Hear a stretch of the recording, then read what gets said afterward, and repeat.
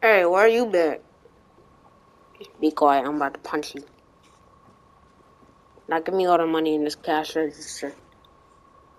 No, why should I?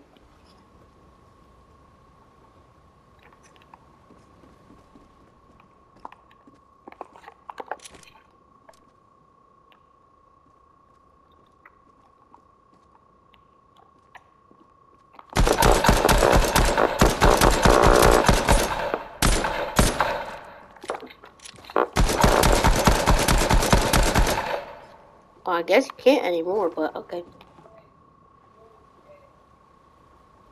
Huh?